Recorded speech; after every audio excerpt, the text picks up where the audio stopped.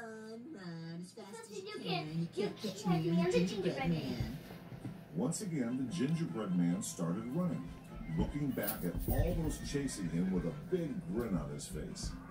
A little way ahead was a big fat pig with its piglets. It's a big fat pig. Man, it said, With the piglets too. That guy sure smells good. Should be a good treat for my little piggies. I want to have a word with you. No, you don't. You want to make a meal of me. And that is not going to happen, you stinking thing. You stinking What? thing. How dare you? You're a rude fellow. Now she's gonna eat him for sure. You're the pig not You ain't gonna catch me. I watched this before. Okay. See? Yep.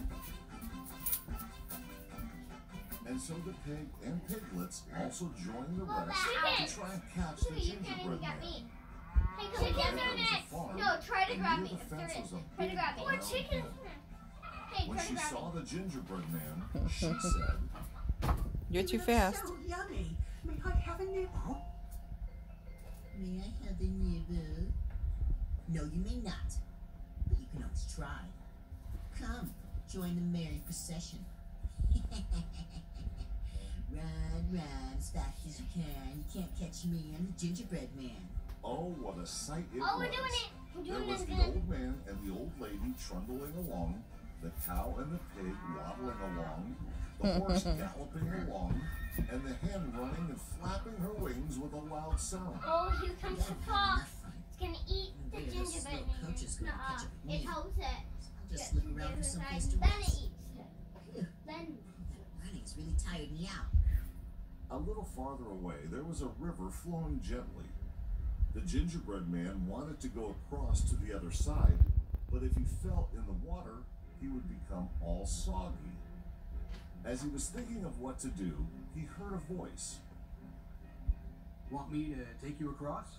The gingerbread man looked around and saw a fox sitting against a rock. You think I'm a fool? You also want to eat me like the rest of them. Eat you? A measly looking fellow like you? You're not even enough as a starter. Forget a whole meal. The fox was a very, eh, he very wily fellow.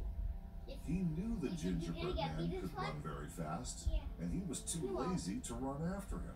Then why would you want to be so good to me?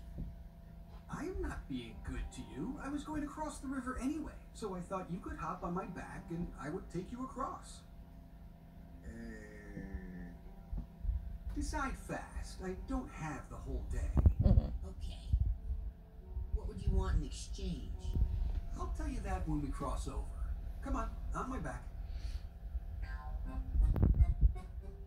Oh, he's gonna. He's gonna eat the gingerbread man, right? Yep.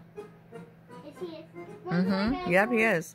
When, no, not this part. When they were Not this part, not yet. across, You'll never get fox me. told the gingerbread man, I'm feeling a bit uncomfortable. I think it would be better if you perch yourself on my neck. the gingerbread man crawled onto the fox's neck. Ah, that's better. You gonna eat him yet? Nope.